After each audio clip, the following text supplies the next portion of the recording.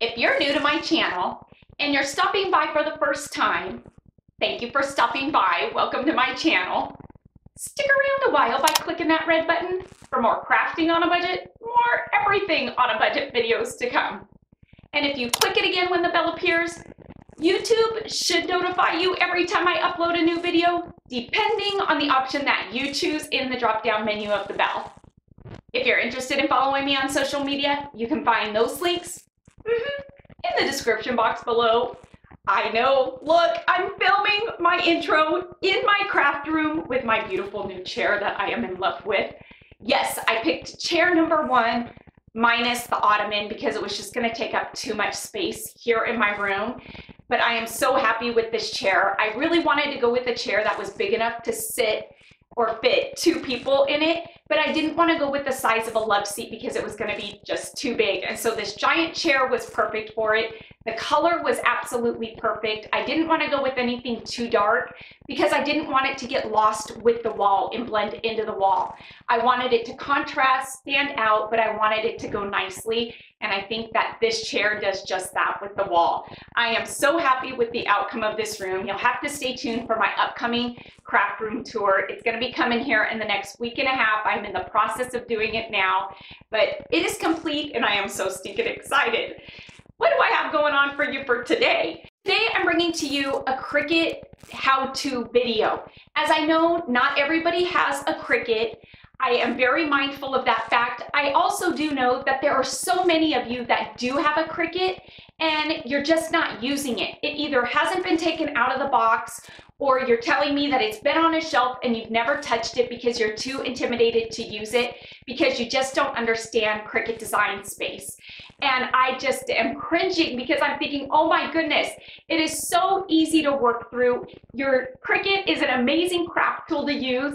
And I have got to show you how to use Cricut Design Space for those of you who have a Cricut and aren't using it, because once you see how easy it is, to use and all the things that you can do with your Cricut, you are gonna love your Cricut as much as I love mine.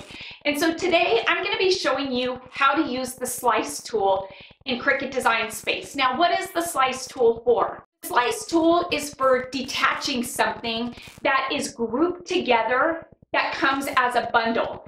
Say you have a pack of embellishments like this one here. This is one from Linda's Etsy store. This is just an example. We have had people who have purchased these asking us, what if I only want to use one of these embellishments and I don't want to print them all out? How do I do that? I'm going to show you how to do that today. And not only is it good for these embellishments, but it is good for any design that you find here in Cricut Design Space if you belong to Cricut Access. And so it is a great tool to use. It's easy to do. And I'm going to show you how you can take just one of these embellishments off of this pack, detach it, and just print the one if that's what you want to do. Super quick and easy, but it's a great, great tool in Cricut that you should know how to use because it is something that I I find that I utilize quite often.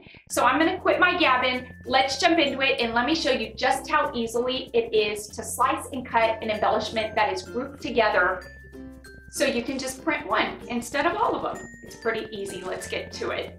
Alrighty, so getting started, we are in Cricut Design Space here with a blank canvas and right along the side here, you're gonna see upload. This is where I'm gonna go to grab the embellishment pack that I'm gonna use and this is a spring one from Linda. When you click on it, you're gonna see that it appears here at the bottom. Go ahead and insert it into your canvas.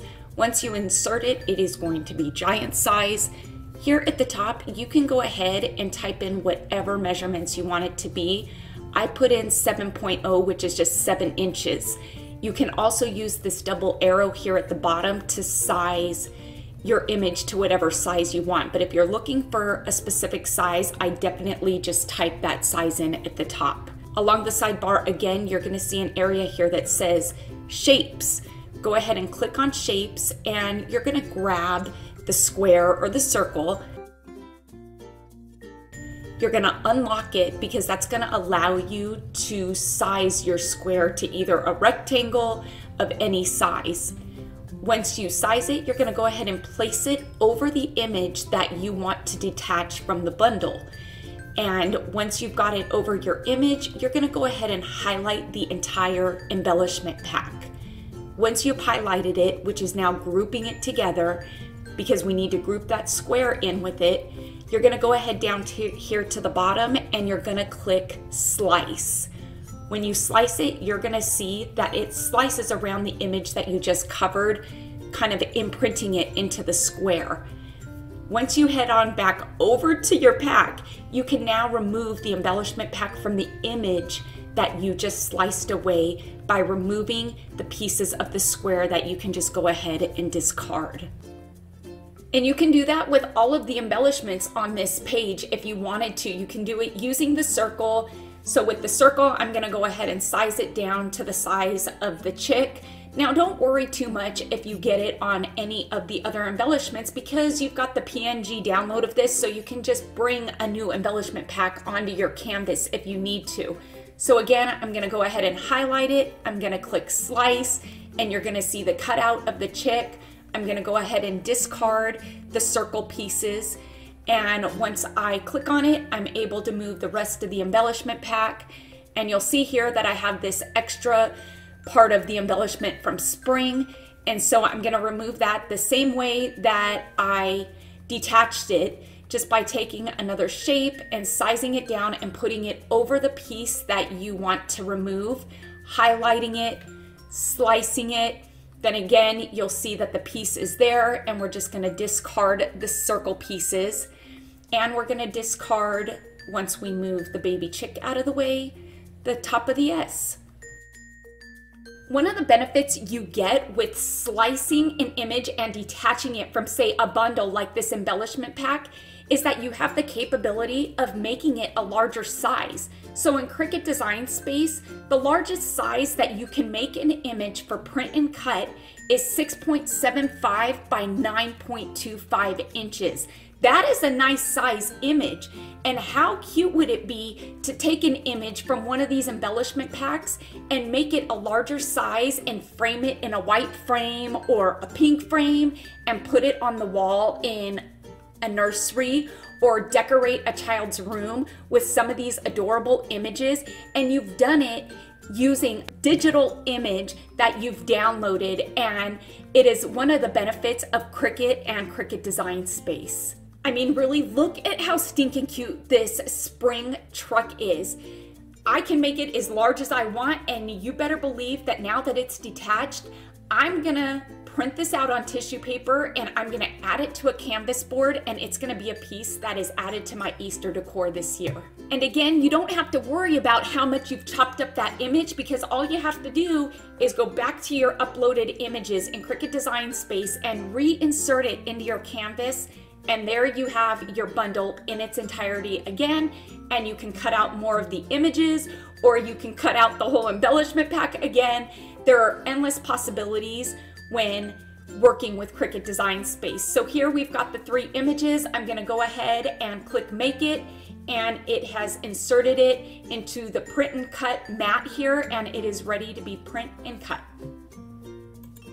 I told you it is so easy to do. Cricut Design Space is a great space to create using your Cricut and it really isn't hard to do. I think that if I just bring you one of these how-to videos every now and again, you all are gonna see just how easy it is and I think that the intimidation of using your Cricut and using Cricut Design Space is going to diminish because you're gonna see just how easy it is. You really don't have to be all that computer I guess, savvy to do it. And so if you just follow along with my step-by-step -step instructions, you'll be able to do it. And before you know it, you're gonna be doing it on your own and you're gonna be a pro at it.